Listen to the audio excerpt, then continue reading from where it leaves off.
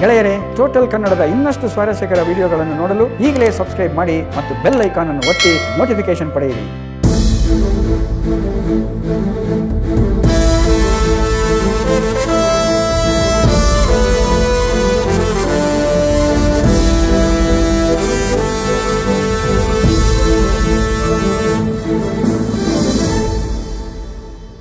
ಎಲ್ರಿಗೂ ನಮಸ್ಕಾರ.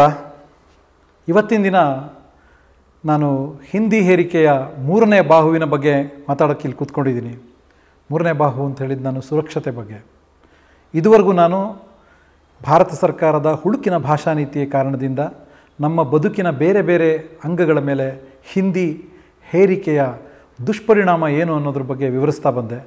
ಈಗಾಗಲೇ ಕಲಿಕೆ ಆಯಿತು, ಆಡಳಿತದ ಬಗ್ಗೆ ಹೇಳಿದೆ. ಹೇಗೆ ತಾರತಮ್ಯ ಮಾಡ್ತಾ ಇದ್ದಾರೆ, ಅಸಮಾನತೆಯ ಭಾಷಾ ನೀತಿ ಹೇಗೆ ಕನ್ನಡಿಗರ ಅಥವಾ ಹಿಂದಿಯೇತರರ ಬದುಕನ್ನು ಒಂದು ದುಸ್ಥಿತಿಗೆ ತಳ್ತಾ ಇದೆ ಅನ್ನೋದ್ರ ಬಗ್ಗೆ ಒಂದೆರಡು ಅಂಗಗಳವಾಗಿ ಹೇಳಿದೆ ನಾನು, ಎರಡು ಬಾಹುಗಳ ಬಗ್ಗೆ. ಬಹುಶಃ ಈಗ ನಾನು ಮಾತಾಡೋಕ್ಕೆ ಹೊರಟಿರೋ ವಿಷಯ, ಬಹುಶಃ ನಮ್ಮೆಲ್ಲರಿಗೂ ಇದು ತಟ್ಟುವಂಥದ್ದು. ನಮ್ಮ ಹಿಂದಿ ಭೂತ ಅಂತ ಯಾವ ಆಕ್ರೋಶದಿಂದ ಕನ್ನಡ ಪರ ಹೋರಾಟಗಾರರು ಅಥವಾ ಮತ್ತೊಬ್ಬರು ಕರೆಯೋದಕ್ಕೆ ಬಹುಶಃ ಇಂತಹ ಒಂದು ಕೇಂದ್ರ ಸರ್ಕಾರದ ನಿಲುವುಗಳು ಕಾರಣ ಅಂತ ನಾನು ಅನ್ಕೋತೀನಿ. ಏನಪ್ಪ ಇಷ್ಟೊಂದು ಆಕ್ರೋಶದಿಂದ ಮಾತಾಡ್ತಾ ಇದ್ದೀನಿ ಅಂದ್ಕೋಬೇಡಿ ಆಕ್ರೋಶ ವಿಷಯ ತಿಳಿದಾಗ ಎಲ್ರಿಗೂ ಉಂಟಾಗೋದು ಸಹಜ. ಇದು ಅಂತಿಂಥ ವಿಷಯ ಅಲ್ಲ, ನಮ್ಮೆಲ್ಲರ ಸುರಕ್ಷತೆಗೆ ಸಂಬಂಧಪಟ್ಟಂಥ ವಿಷಯ. ಸುರಕ್ಷತೆ ಅನ್ನೋದು ಬರೀ ನಾವು ಬೀದಿಗೆ ಹೋದಾಗ ಮಾತ್ರ ಇಲ್ಲ, ಅಥವಾ ನಾವು ಯಾವುದೋ ಬಸ್ಸಲ್ಲಿ ಪ್ರಯಾಣ ಮಾಡಿದ್ರೆ ಮಾತ್ರ ಇಲ್ಲ, ನಮ್ಮ ಮನೆ ಮನೆಗಳಲ್ಲಿ ಕೂಡ ಇದೆ. ಹೀಗೆ ಈ ಸುರಕ್ಷತೆ ಅನ್ನೋದು ಬರೀ ನಾವು ಮಾಡ್ಕೊಳ್ಳೋ ವ್ಯವಸ್ಥೆ ಮಾತ್ರ ಆಗಿಲ್ಲದೆ ಕೇಂದ್ರ ಸರ್ಕಾರ ಕೂಡ ನಮ್ಮ ಬದುಕಿನ ಜೊತೆ ವಹಿವಾಟಿನ ಬದುಕಿನ ಅಂಗಗಳಲ್ಲಿ ಅದು ಒಂದು ಹಾಸು ಹೊಕ್ಕಾಗಿರೋದ್ರಿಂದ ಅಲ್ಲಿ ಕೂಡ ಈ ಸುರಕ್ಷತೆ ಬಗ್ಗೆ ಸಾಕಷ್ಟು ಒಂದು ಒಂದು ಹಿಡಿತವನ್ನು ನಮ್ಮ ಬದುಕಿನ ಬಗ್ಗೆ ಅದು ಪ್ರಭಾವವನ್ನು ಹೊಂದಿದೆ ಅನ್ನೋದನ್ನು ನಾವು ಮೊದಲಿಗೆ ಅರ್ಥ ಮಾಡ್ಕೋಬೇಕಾಗತ್ತೆ. ಈ ಸುರಕ್ಷತೆ ವಿಷಯದಲ್ಲಿ ಭಾರತ ಸರ್ಕಾರ ಹೊಂದಿರೋ ನಿಲುವುಗಳನ್ನು ಹೇಗೆ ಅದು ಸಂವೇದನಾ ರಹಿತವಾಗಿದೆ ಹಿಂದಿಯೇತರರ ಬಗ್ಗೆ ಅನ್ನೋದನ್ನು ನಾವು ಒಂದೊಂದಾಗಿ ನೋಡ್ತಾ ಹೋಗೋಣ. ಮೊದಲನೇದಾಗಿ ಗೆಳೆಯರೆ ಒಂದು ರೈಲು, ರೈಲ್ವೆ ಇಲಾಖೆ ಕೇಂದ್ರ ಸರ್ಕಾರದ್ದು ಅಂತ ಹೇಳ್ತಾ ಇದ್ದೀವಿ. ಒಂದು ರೈಲು ಕರ್ನಾಟಕದಲ್ಲಿ ಬೆಂಗಳೂರು, ಮೈಸೂರು ಮಧ್ಯೆ ಪ್ರಯಾಣ ಮಾಡ್ತಾ ಇರೋ ರೈಲಲ್ಲಿ ಅಲ್ಲಿರುವಂಥ ಆಪತ್ಕಾಲೀನ ತುರ್ತು ನಿರ್ಗಮನ ಅಂತ ಏನಿದೆ? ಅಂದರೆ ಒಂದು ಎಮರ್ಜೆನ್ಸಿ ಎಕ್ಸಿಟ್. ಇವುಗಳಿಗೆ ಒಂದು ಫಲಕ ಹಾಕಿರ್ತಾರೆ. ನೀವು ಫಲಕನ ಯಾವತ್ತಾದರೂ ಗಮನಿಸಿದ್ದೀರಾ? ದಯವಿಟ್ಟು ಗಮನಿಸಿ ನೋಡಿ. ಅದರಲ್ಲಿ ಆಪತ್ಕಾಲೀನ ಕಿಟಕಿ ಅಂತ ಬರೆದು ಹಿಂದಿನಲ್ಲಿ ಇಂಗ್ಲೀಷ್ನಲ್ಲಿ ಎಮರ್ಜೆನ್ಸಿ ಓಪನಬಲ್ ವಿಂಡೋ ಅಂತ ಬರೆದು ಇಂಗ್ಲೀಷ್ನಲ್ಲಿ ಹಾಕಿರ್ತಾರೆ ಹೊರತು ಕನ್ನಡದಲ್ಲಿ ಮಾಹಿತಿ ಇರೋದಿಲ್ಲ. ಎಷ್ಟು ದುರಂತಮಯವಾಗಿದೆ. ಬೆಂಗಳೂರು, ಮೈಸೂರು ಮಧ್ಯೆ ಹುಬ್ಬಳ್ಳಿ ಬೆಂಗಳೂರು ಮಧ್ಯೆ ಅಥವಾ ಕರ್ನಾಟಕದ ಬೇರೆ ಬೇರೆ ಊರುಗಳ ಮಧ್ಯೆ ಸಂಚರಿಸುವ ರೈಲುಗಳಲ್ಲಿ ಕನ್ನಡದಲ್ಲಿ ಕೂಡ ಹಾಕಲೇಬೇಕು ಅನ್ನೋ ನಿಯಮ ಕೇಂದ್ರ ಸರ್ಕಾರ ಯಾಕೆ ಮಾಡಿಲ್ಲ? ಕನ್ನಡಿಗರ ಸುರಕ್ಷತೆ ಅದಕ್ಕೆ ಬೇಕಾಗಿಲ್ವಾ? ಹಿಂದಿ ಅಥವಾ ಕನ್ನಡಿಗರಿಗೆಲ್ಲ ಒಂದನೇ ಕ್ಲಾಸಿಂದ ನಾವು ಹಿಂದಿ ಕಲಿಸ್ತೀವಿ, ಅವ್ರು ಹಿಂದಿನಲ್ಲಿ ನೋಡ್ಕೊಳ್ಳಿ ಅಥವಾ ಇಂಗ್ಲೀಷಲ್ಲಿ ನೋಡ್ಕೊಳ್ಳಿ ಅನ್ನೋ ಅಸಡ್ಡೆನ, ಇಂಥ ಒಂದು ನೋವು ನನ್ನಲ್ಲಿ ಹುಟ್ಟುತ್ತಾ ಇದೆ ಗೆಳೆಯರೆ. ಇದನ್ನು ಬಹುಶಃ ನೀವು ಗಮನಿಸಿ ನೋಡಿ, ಈ ಪರಿಸ್ಥಿತಿಯಲ್ಲಿ ನಾವು ಯಾವುದೋ ಪಟ್ಟಣದಲ್ಲಿರುವಂಥವರು, ಶಾಲೆಯಲ್ಲಿ ನಮಗೆ ಇಂಗ್ಲೀಷ್ ಬರುತ್ತೆ, ಹಿಂದಿ ಬರುತ್ತೆ, ಏನೂ ಬರದೇ ಹೋದರೂ ನಾವು ಹೇಗೋ ನಿಭಾಯಿಸ್ಕೋತೀವಿ ಅನ್ನೋಂಥವ್ರನ್ನ ಬಿಟ್ಟು ಸಾಮಾನ್ಯ ಕನ್ನಡಿಗರು, ಬರೀ ಕನ್ನಡ ಬಲ್ಲವಂತಹ ಜನರು, ಇಡೀ ಕರ್ನಾಟಕದಲ್ಲಿ ಕನಿಷ್ಠ ಪಕ್ಷ ಮೂರು ಕೋಟಿ ಜನಕ್ಕೆ ಕನ್ನಡ ಬಿಟ್ಟು ಬೇರೆ ಭಾಷೆ ಬರೋದಿಲ್ಲ. ಇನ್ನೊಂದು ಭಾಷೆ, ಅಂಥವ್ರ ಗತಿ ಏನು? ಅವ್ರಿಗೆ ಈ ಸುರಕ್ಷತಾ ಮಾಹಿತಿ ಬೇಕಾಗಿಲ್ವಾ? ಚೈನ್ ಎಳಿಬೇಕಾಗತ್ತೆ. ಇಲ್ಲಿ ತುರ್ತು ಸಂದರ್ಭದಲ್ಲಿ ಚೈನ್ ಎಳಿರಿ ಅನ್ನೋ ಮಾಹಿತಿ ಹಾಕಿರ್ತಾರೆ. ಇದನ್ನು ಎಳಿರಿ ಅನ್ನೋದು ಎಲ್ಲಿದೆ ಅದು ಕನ್ನಡದಲ್ಲಿ ಮಾಹಿತಿ? ಕನ್ನಡದಲ್ಲಿ ಮಾಹಿತಿ ಕೊಡೋದಕ್ಕೆ ಕೇಂದ್ರ ಸರ್ಕಾರ ಯಾಕೆ ಹಿಂಜರಿತಾ ಇದೆ? ಇದನ್ನು ನಾವು ಗುರುತಿಸ್ಕೋಬೇಕಾಗತ್ತೆ. ಎರಡನೇ ಭಾ ಎರಡನೇ ಉದಾಹರಣೆ ನಾನು ನಿಮ್ಮ ಮುಂದೆ ತೆಗೆದಿಡೋದಕ್ಕೆ ಬಯಸೋದು.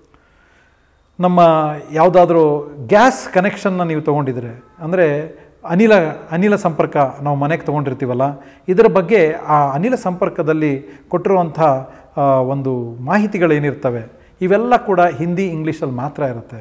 ಇದು ಅನಿಲ ಸಿಲಿಂಡರ್ಗೆ ಕೂಡ ಅನ್ವಯಿಸುತ್ತೆ. ಗೆಳೆಯರೆ, ನಮ್ಮ ಮನೆಯಲ್ಲಿ ತರುವಂಥ ಸಿಲಿಂಡರ್ನ ನಮ್ಮ ತಾಯಂದರು ಬಳಸ್ತಾ ಇರ್ತಾರೆ ಅಜ್ಜಿರು ಬಳಸ್ತಾ ಇರ್ತಾರೆ, ಅಕ್ಕಂದರು ಬಳಸ್ತಾ ಇರ್ತಾರೆ. ಇದ್ರ ಮೇಲೆ ಸುರಕ್ಷತಾ ಮಾಹಿತಿ ಏನು ಕೊಡ್ತಾರೆ? ಇದು ಕನ್ನಡದಲ್ಲಿ ಇರಬೇಕು ಅಲ್ವಾ? ಕನ್ನಡದಲ್ಲಿ ಕೊಡೋದಕ್ಕೆ ಏನು ತೊಂದರೆ ಭಾರತ ಸರ್ಕಾರಕ್ಕೆ? ಇದು ಕೇವಲ ಹಿಂದಿ ಮತ್ತು ಇಂಗ್ಲೀಷಲ್ಲಿ ಮಾತ್ರ ಇವರು ಸುರಕ್ಷತಾ ಮಾಹಿತಿನ ಹಾಕ್ತಾರೆ ಒಂದು ಗ್ಯಾಸ್ ಸಿಲಿಂಡರ್ ಮೇಲೆ. ಅಪಾಯದ ಸಂದರ್ಭದಲ್ಲಿ ಹೇಗೆ ನಿಭಾಯಿಸಬೇಕು ಅನ್ನೋದನ್ನು ಮಾಹಿತಿನ ಕನ್ನಡದಲ್ಲಿ ಕೊಡ್ತಾ ಇಲ್ಲ. ಅಥವಾ ಬೇರೆ ಬೇರೆ ಭಾಷಿಕರಿಗೆ ಅವರವ್ರ ಭಾಷೆಯಲ್ಲಿ ಕೊಡ್ತಾ ಇಲ್ಲ ಅನ್ನೋದನ್ನು ನಾವು ಗಮನಿಸಬೇಕಾಗತ್ತೆ. ಇದಕ್ಕೆ ಸಾವಿರ ಕುಂಟು ನೆಪಗಳಿದೆ. ಇಡೀ ದೇಶದಲ್ಲಿ ಇಲ್ಲಿ ಬರೋ ಸಿಲಿಂಡ್ರ್ ನಾಳೆ ಇನ್ನೊಂದು ದೆಹಲಿಗೂ ಹೋಗುತ್ತೆ ಅನ್ನೋ ನೆಪಗಳನ್ನು ಹೇಳ್ತಾರೆ. ಸಿಲಿಂಡ್ರ್ ಎಲ್ಲಿ ಹೋದರೆ ಏನು ಸ್ವಾಮಿ? ನನ್ನ ಮನೆಗೆ ಬರೋ ಸಿಲಿಂಡ್ರಲ್ಲಿ ಕನ್ನಡದಲ್ಲಿ ಮಾಹಿತಿ ಇರಬೇಕು. ಇಲ್ಲದೆ ಹೋದರೆ ನನ್ನ ತಾಯಿಯ ಸುರಕ್ಷತೆ ಬಗ್ಗೆ, ನನ್ನ ಮನೆಯಲ್ಲಿರೋ ಜನಗಳ ಸುರಕ್ಷತೆ ಬಗ್ಗೆ ಭಾರತ ಸರ್ಕಾರಕ್ಕೆ ಕನಿಷ್ಠ ಕಾಳಜಿ ಇಲ್ಲ ಅಂತ ತೀರ್ಮಾನಕ್ಕೆ ನಾವು ಬರಬೇಕಾಗತ್ತೆ. ಇಂಥ ದುಸ್ಥಿತಿಯಲ್ಲಿ ಕನ್ನಡ, ಭಾರತದ ಕನ್ನಡಿಗರು, ಭಾರತದ ಹಿಂದಿಯೇತರ ಜನರು ಬದುಕ್ತಾ ಇದ್ದೀವಿ. ಇದನ್ನು ನಾವು ಗಮನಿಸ್ಕೋಬೇಕಾಗತ್ತೆ.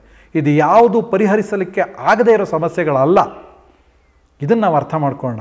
ಮತ್ತು ಇನ್ನೊಂದು ಉದಾಹರಣೆ. ನೀವು ಇತ್ತೀಚೆಗೆ ವಿಮಾನ ನಿಲ್ದಾಣದಲ್ಲಿ, ಈ ಕಳೆದ ತಿಂಗಳಲ್ಲಿ ಕೇರಳದಲ್ಲಿ ಒಂದು ವಿಮಾನ ಅಪಘಾತ ಆಯಿತು. ವಿಮಾನ ಅಪಘಾತದ ಸೂಚನೆಗಳನ್ನು ಹಿಂದಿ ಮತ್ತು, ಆ ಸಂದರ್ಭದಲ್ಲಿ, ಅಪಘಾತದ ಸಂದರ್ಭದಲ್ಲಿ ಅದರ ಪೈಲಟ್ ಕೊಡ್ತಿದ್ದ ಸೂಚನೆಗಳು ಹಿಂದಿ ಮತ್ತು ಇಂಗ್ಲೀಷಲ್ಲಿ ಮಾತ್ರ. ಬಹುಶಃ ಮಲಯಾಳಿ ಭಾಷೆಯಲ್ಲೂ ಕೊಟ್ಟಿದ್ದಿದ್ರೆ ಬಹಳಷ್ಟು ಜನರ ಜೀವ ಉಳಿದಿರ್ತಿತ್ತು ಅನ್ನೋ ಮಾತನ್ನು ಪತ್ರಿಕಾ ವರದಿಗಳು ಹೇಳ್ತಾ ಇದೆ. ಇದು ನನ್ನ ಅನಿಸಿಕೆ ಅಂತಲ್ಲ, ಪತ್ರಿಕಾ ವರದಿಗಳು ಹೇಳ್ತಾ ಇದೆ. ಇಷ್ಟಕ್ಕೂ ಬೆಂಗಳೂರಿನಿಂದ ಹೊರಡೋ ವಿಮಾನಗಳು ಇಲ್ಲಿನ ಭಾಷೆ, ಕನ್ನಡದಲ್ಲಿ ಒಂದು ಘೋಷಣೆ ಕೊಡೋದಕ್ಕೆ ಏನು ಸಮಸ್ಯೆ ಇದೆ? ವಿಮಾನದೊಳಗಡೆ ಕೊಡೋ ಮೆನು, ವಿಮಾನದೊಳಗಡೆ ಕೊಡೋ ಸುರಕ್ಷತಾ ಸೂಚನೆಗಳು, ಇವುಗಳೆಲ್ಲ ಯಾಕೆ ಕನ್ನಡದಲ್ಲಿ ಕೊಡೋದಕ್ಕಾಗೋದಿಲ್ಲ? ಬೆಂಗಳೂರಿಂದ ಅಕಸ್ಮಾತ್ ಒಂದು ವಿಮಾನ ಬೆಂಗಳೂರಿಂದ ಲಕ್ನೋಗೆ ಹೋಗೋದಿದ್ರೆ ಕನ್ನಡ ಮತ್ತು ಹಿಂದಿನಲ್ಲಿ ಕೊಡಿ.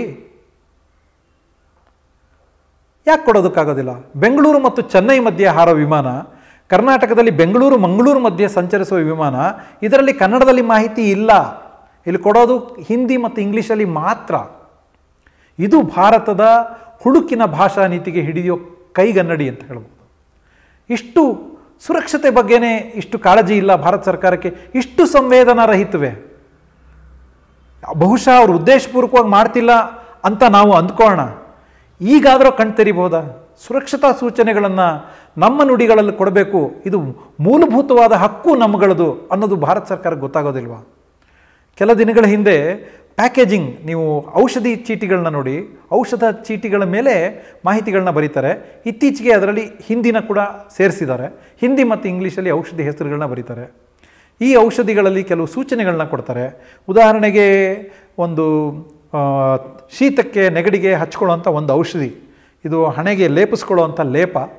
ಆ ಲೇಪದ ಒಂದು ಡಬ್ಬಿ ಮೇಲೆ ಹಿಂದಿ ಮತ್ತು ಇಂಗ್ಲೀಷಲ್ಲಿ ಮಾಹಿತಿ ಕೊಡ್ತಾರೆ.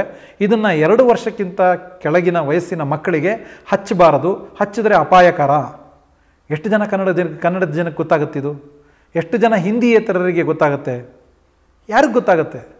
ಈ ಮಾಹಿತಿ ನಮಗೆಲ್ಲ ಬೇಡವಾ? ಬರೀ ಹಿಂದಿ ಬಲ್ಲವ್ರಿಗೆ ಮಾತ್ರನ ಈ ಮಾಹಿತಿ? ಯಾಕಿಷ್ಟು ಸಂವೇದನಾ ರಾಹಿತ್ಯ? ಇದನ್ನು ನಾವು ಪ್ರಶ್ನೆ ಮಾಡೋದು ಬೇಡವಾ? ಇದನ್ನು ನೋಡ್ತಾ ಹೋದರೆ ನೀವು ಇದಕ್ಕೆಲ್ಲ ಭಾರತ ಸರ್ಕಾರದ, ಸರ್ಕಾರ ಏನು ಮಾಡುತ್ತೆ? ಇದನ್ನು ತಯಾರು ಮಾಡೋರು ಯಾರೋ?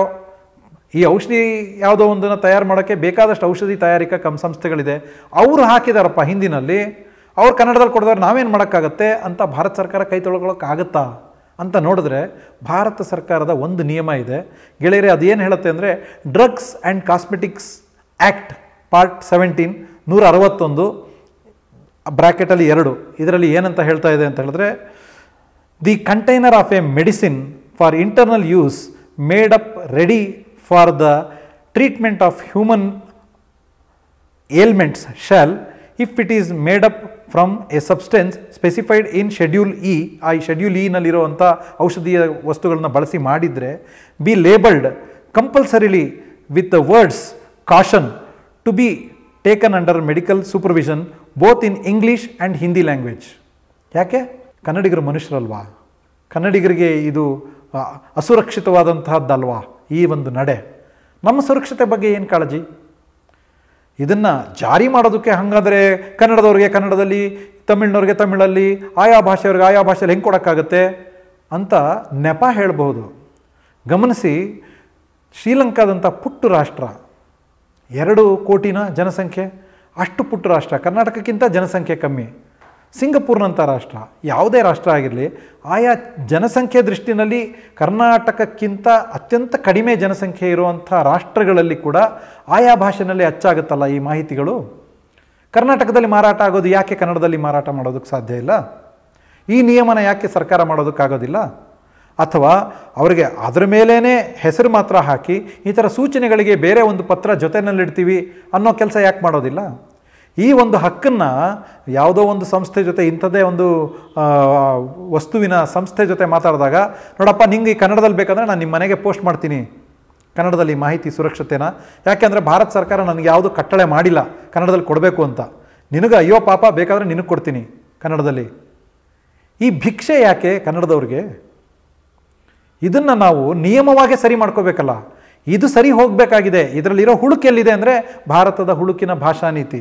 ಭಾರತದ ಭಾಷಾ ನೀತಿ ಭಾಗ ಹದಿನೇಳು, ಮುನ್ನೂರ ನಲವತ್ತ್ಮೂರನೇ ವಿಧಿಯಿಂದ ಮುನ್ನೂರ ಐವತ್ತೊಂದನೇ ವಿಧಿವರೆಗೆ ಬರೆದಿರೋದನ್ನು ಆಧರಿಸಿ ರೂಪುಗೊಂಡಿರೋ ಇಲಾಖೆ, ರೂಪುಗೊಂಡಿರೋ ಕಾಯ್ದೆಗಳು, ಜಾರಿಯಾಗಿರುವಂಥ ನಿಯಮಗಳು, ಇವುಗಳು ಈ ಒಂದು ದುಸ್ಥಿತಿಗೆ ಕಾರಣವಾಗಿದೆ ಅಂತ ಅನಿಸೋದಿಲ್ವೇ? ಇದು ಬದಲಾಗಲೇಬೇಕಲ್ವಾ ಗೆಳೆಯರೆ? ಇದು ಯಾವುದೇ ಒಬ್ಬ ಭಾಷಿಕನ ಮೂಲಭೂತ ಹಕ್ಕಾಗೋದಿಲ್ವೇ? ಇದ್ರ ಬಗ್ಗೆ ನಾವೆಲ್ಲ ಮುಂದಿನ ದಿನಗಳಲ್ಲಿ ಕೆಲಸ ಮಾಡಲೇಬೇಕಾಗತ್ತೆ. ಇದನ್ನು ನಾವು ಸುರಕ್ಷತೆ ಬಗ್ಗೆ, ಭಾರತ ಸರ್ಕಾರಕ್ಕೆ ಹಿಂದಿಯೇತರರ ಬಗ್, ಸುರಕ್ಷತೆ ಬಗ್ಗೆ ಕಾಳಜಿ ಇಲ್ಲವೇನೋ ಅನ್ನೋ ಅನುಮಾನಕ್ಕೆ ಈ ಒಂದು ನಡೆಗಳು, ಈ ಒಂದು ನಿಯಮಗಳು ಕಾರಣ ಆಗ್ತಿದೆ ಗೆಳೆಯರೆ. ಹೀಗೆ ಭಾರತದ ಭಾಷಾ ನೀತಿಯಲ್ಲಿರೋ ಹುಡುಕುಗಳು ನಮ್ಮ ಬದುಕಿನ ಮೇಲೆ ಯಾವೆಲ್ಲ ರೀತಿಯಲ್ಲಿ ಪರಿಣಾಮ ಬೀರ್ತಾ ಇದೆ ನೋಡಿದ್ರೆ, ನೋಡಿ ಆಗಲೇ ಹೇಳಿದೆ ಕಲಿಕೆನಲ್ಲಿ ಹೇಗೆ ಹೇರಿಕೆ ಮಾಡ್ತಾ ಇದ್ದಾರೆ. ಕಲಿಕೆ ಮುಖಾಂತರ ಮಕ್ಕಳನ್ನು ಈ ನಾಡನ್ನು ಹಿಂದಿ ಭಾಷಿಕರು ವಲಸೆಗೆ ಸಿದ್ಧ ಮಾಡ್ತಾ ಇದ್ದಾರೆ. ಹಿಂದಿ ಕಲಿಸೋದ್ರ ಮುಖಾಂತರ. ಚಿಕ್ಕಂದಿನಿಂದಲೇ ಕಲೀರಿ ಅಂತ. ಎರಡನೇದು, ನಮಗೆ ಆಡಳಿತದಲ್ಲಿ ನಮ್ಮ ಹಕ್ಕುಗಳೇ ಇದ್ದರೂ ಕೂಡ ನಮಗೆ ಪಾಲಿಸಿ ಮೇಕಿಂಗ್ ಅಂತ ಏನಿದೆ, ಈ ಪಾಲಿಸಿ ಮೇಕಿಂಗಲ್ಲಿ ಹಿಂದಿಯೇತರರನ್ನ, ಅಂದರೆ ನಿಯಮಗಳನ್ನ ರೂಪಿಸೋದ್ರಲ್ಲಿ, ಒಂದು ನೀತಿ ರೂಪಿಸೋದ್ರಲ್ಲಿ ಅಲ್ಲಿ ಕೂಡ ಹಿಂದಿಯೇತರರನ್ನ ಹೊರಗಿಟ್ಟು ರೂಪಿಸುವಂಥ ಒಂದು ನಿಲುವು ಭಾರತ ಸರ್ಕಾರದಲ್ಲಿದೆ. ಮತ್ತೆ ಹೀಗೆ ನೋಡಿದ್ರೆ ಸುರಕ್ಷತೆ ಬಗ್ಗೆ ಮಾತಾಡ್ತಾ ಇದ್ದಾಗ ನಮ್ಮ ಸುರಕ್ಷತೆ ಬಗ್ಗೆ ಕಾಳಜಿಯೇ ಇಲ್ಲವೇನೋ, ಸಂವೇದನೆಯೇ ಇಲ್ಲವೇನೋ ಅನ್ನೋ ರೀತಿಯಲ್ಲಿ ಭಾರತ ಸರ್ಕಾರ ನಡ್ಕೊಳ್ತಾ ಇದೆ. ರೈಲ್ ಇರಬಹುದು ಅಥವಾ ವಿಮಾನ ನಿಲ್ದಾಣ ಇರಬಹುದು, ಈಗಾಗಲೇ ಹೇಳ್ದಂಗೆ ಮನೆ ಬಳಕೆಯಲ್ಲಿರೋ ಅನಿಲ ಸಿಲಿಂಡರ್ಗಳ ಮೇಲಿರಬಹುದು, ಹೀಗೆ ಯಾವುದರಲ್ಲೇ ಆದರೂ ಕೂಡ ಹಿಂದಿ, ಇಂಗ್ಲೀಷ್ ಬಿಟ್ಟು ನಮ್ಮ ಭಾಷೆಗಳಲ್ಲಿ ಸುರಕ್ಷತೆನ ಸೂಚನೆಗಳನ್ನ ಕೊಡೋದಕ್ಕೆ ಹಿಂಜರಿತಾ ಇದೆ. ಔಷಧೀಯ ವಸ್ತುಗಳ ಮೇಲೆ ಕೊಡೋದಕ್ಕೆ ಹಿಂಜರಿತಾ ಇದೆ. ಇವುಗಳೆಲ್ಲ ಬದಲಾಗಲೇಬೇಕಾಗಿದೆ ಈ ಬದಲಾವಣೆಯನ್ನು ಆಗಬೇಕು ಅಂತ ಹೇಳಿದ್ರೆ ನಾವು ಈ ಒಂದು ಭಾರತದ ಹುಳುಕಿನ ಭಾಷಾ ನೀತಿ ಏನಿದೆ, ಇದನ್ನು ನಾವು ಮರುಪರಿಶೀಲನೆ ಮಾಡಬೇಕಾಗಿದೆ. ಇದನ್ನು ನಾವು ಮತ್ತೆ ಇಡೀ ಭಾರತ ಮತ್ತೆ ಕೂತ್ಕೋಬೇಕಾಗಿದೆ. ಸಂವಿಧಾನದ ಸೃಷ್ಟಿಕರ್ತರು ಈ ಅವಕಾಶ, ತಿದ್ದುಪಡಿಗೆ ಅವಕಾಶ ಕೊಟ್ಟಿದ್ದಾರೆ. ಇದರ ಬಳಕೆ ಮಾಡಿಕೊಂಡು ಈ ನಮ್ಮ ನಾಡಿನ ಈ ಹುಡುಕುಗಳನ್ನ ತಿದ್ದುಕೊಂಡು ಸರಿಯಾದ ಒಂದು ಭಾಷಾ ನೀತಿನ ಮಾಡಬೇಕಾಗತ್ತೆ. ಇದನ್ನು ನಾವು ಅರ್ಥ ಮಾಡ್ಕೋಬೇಕಾಗಿದೆ. ಇನ್ನು ಗೆಳೆಯರೆ, ಮುಂದಿನ ಭಾಗಗಳಲ್ಲಿ ನಾನು ಉಳಿದ ಇನ್ನು ಐದು ಯಾವ ಅಂಗಗಳಿದೆ, ಇವುಗಳ ಬಗ್ಗೆ ಕೂಡ ನಾನು ಹೇಗೆ ತೊಡಕಾಗ್ತಾ ಇದೆ, ನಮ್ಮ ಬದುಕಿನಲ್ಲಿ ಹೇಗೆ ಈ ಭಾರತದ ಹುಡುಕಿನ ಭಾಷಾ ನೀತಿ ಪ್ರಭಾವ ಬೀರ್ತಾ ಇದೆ ಅನ್ನೋದ್ರ ಬಗ್ಗೆ ಮತ್ತಷ್ಟು ವಿಸ್ತೃತವಾಗಿ ಚರ್ಚೆ ಮಾಡೋಣ. ಅಲ್ಲಿ ತನಕ ನಮಸ್ಕಾರ.